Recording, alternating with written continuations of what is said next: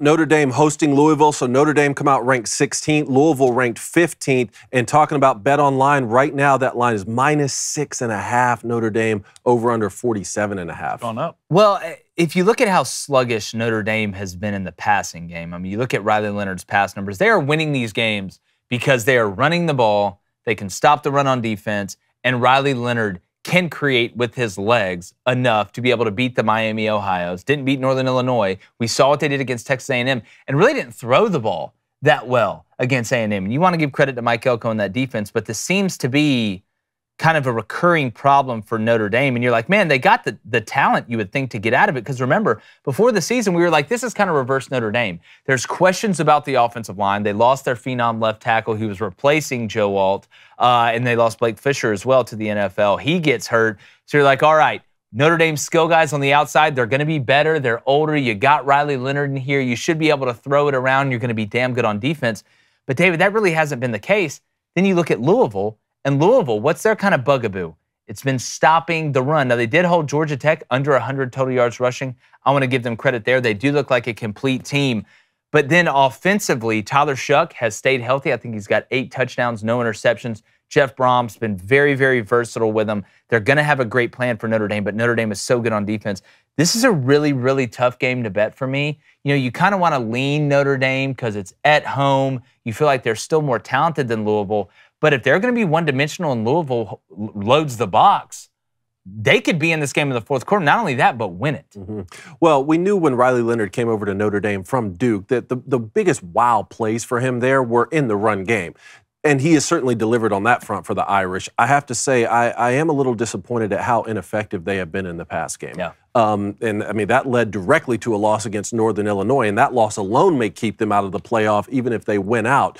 Uh, I was thinking about this for Louisville, because every week we say with Riley Leonard, well, this could be the week that they really turn it on through the air. So he throws for 300 yards and rushes for 150. Like You're like, all right, there's the guy that we thought. But facing Louisville's defense and Ron English's defense isn't really the week that you're hoping to magically turn it on. And I was thinking about this, because Louisville just got over a win with Georgia Tech. What a great game that was to face Georgia Tech before you have to go on the road and play Riley Leonard and Notre Dame. I mean, if you were going to have a stand in on your scout team, try and be Riley Leonard, like Haynes, Haynes King King's is that guy and may even throw it better. So, what Louisville's defense just did against Georgia Tech and how effective they were to be able to keep Haynes King from running all over them, I think that's a great precedent and a great early look for them to face Notre Dame. I got to say, man, the six and a half seems a little crazy to me. I, right now, I'm trying to decide if I want to take Louisville outright to win the game. I don't think it'd be a bad dog bet at all. Blaine, when you look at the minds here going up against each other, Jeff Brohm on the offensive side mm-hmm. with a guy with the capabilities of Tyler Shough,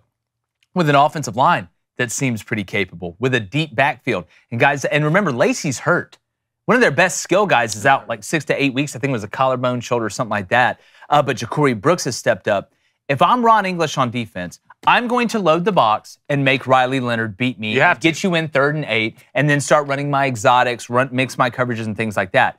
If you're Marcus Freeman going against Jeff Brohm this week, how tough is it to be able to put a plan together when Louisville has shown the ability and you know uh, to be balanced, and you know that Jeff Brohm is probably still, even though they have played Georgia Tech, got a lot saved in the mm. bag for this one. Yeah, you know Brohm's got a lot in the tank when it comes to play calling. If you watch Louisville play, they've been somewhat vanilla. I don't think they've gone outside the box a lot. But the way this Louisville team's built, and we've talked about this, especially last year, is something we're not used to seeing, and that's defensively. You can go back to the Jackson State game; they gave up 130 yards rushing. And let me tell you this: Georgia Tech, from a rushing standpoint, Brent Key even said it after the game. They want to do what?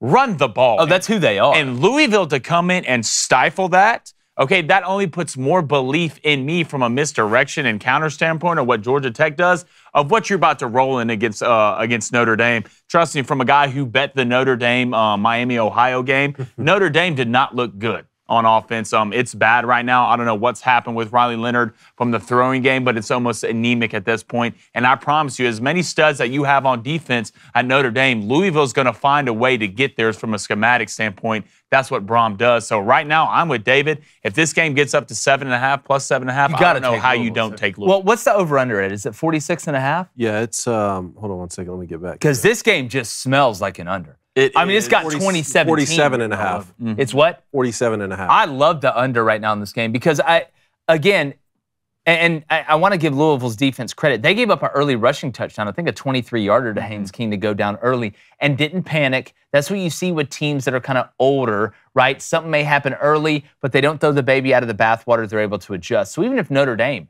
takes the opening drive right down the field, Riley Leonard hits him from 15 yards out, breaks a tackle, spins, flips on his head, sells a hot dog, and then scores.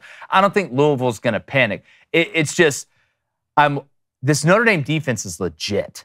Like they're legit. And it's not just a bunch of big guys in the middle and they're okay behind it. They can run.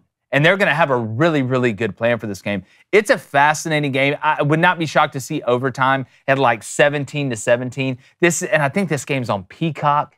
Unfortunately, I, I think I saw that. Uh, but I can't wait for this one. I really can't. No, I agree.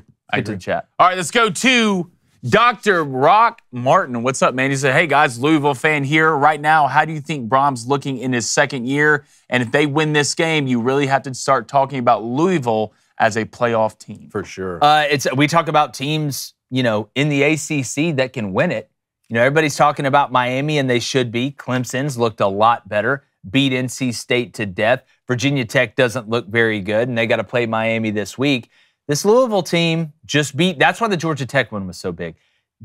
They're just going to hang around over there, right? Just keep doing what they're doing. It's it's balanced still, is what it looks like to me. That it feels like, and I know it's early in this year. And to go back to Blaine's point, Dr. Rock, last year the biggest surprise with Louisville was the defense, right? Jack Plummer would make catastrophic decisions, but the defense not only was really good in general, they would bail them out a lot, and that seems to have carried over. So this wasn't a flash in the pan thing. Jeff Brohm just inherited some guys that were able to, to string the puppet together, and he was able to dance while the kids laughed. This is like who they are, and that should scare people more than anything. Because make no mistake, Jeff Brohm is a witch when it comes to being able to, to diagnose. We talk about Petrino and some of these other guys. He's one of the best in the business at it, too. And now he's got a quarterback in Tyler Shough that, again, as we said, if he could stay healthy, the dude is a baller that nobody is talking about. And remember, Louisville will play Miami and they'll play Clemson. So you're going to have to win one of those games. And you get your shot, though. I've got no and, problem and with that. Clemson and Miami don't play in the regular season.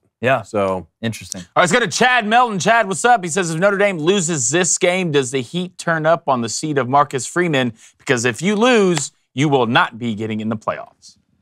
I think it does. And not just for that reason, it's because of who you lost to and then even how you've looked in your wins. Like you lose to Northern Illinois, all right, which, which is tough. I don't care how good Northern Illinois is. That should not happen at Notre Dame. But then you struggle with Miami, Ohio for a while, right? And if you lose this one, you're starting to think now maybe this is this is just the Marcus Freeman coach teams. Really good on defense, can't figure it out on offense, even with Sam Hartman coming in one year, and now Riley Leonard. Who the hell? I mean, it doesn't get much better going to get quarterbacks out of the portal than what Notre Dame has done twice. Even hiring Mike Denbrock, you're like, all right, Denbrock is going to come in, and he's the one who can finally be the last piece of the puzzle mm-hmm. to turn this Notre Dame team into elite team. You've got Riley Leonard. We know what he can do. You've got returning guys at the skill position that you feel good about. Faison, I can go through the list, but it still looks bad. So now it feels like a Marcus Freeman problem because you've seen Denbrock ball before. So when do we start hearing if Notre Dame loses this game? Urban Meyer, Urban Meyer, Urban Meyer. Don't be shocked if Louisville does win. You start hearing more and more and more and more about Urban Meyer. And some people say, oh, Notre Dame would never hire Urban Meyer. And I don't want to cause a firestorm here, but let's not forget, it wasn't all rainbows and happiness with what went down with Brian Kelly at Notre Dame, too. I don't want to get into it, but I think Notre Dame wants to win, all right? And Urban Meyer would be a guy that would come in there and I think could get Notre Dame to where they feel like they should be and that they haven't been in a while, including going to play Alabama in the national championship game and watching Eddie Lacy walk in your house and eat all the food in your refrigerator and then kiss your wife and leave. So, Yeah, that's tough. hey, what's up, YouTube? Hey, do us a favor. If you hadn't hit that subscribe button, please do. We really appreciate you taking some time out of your day.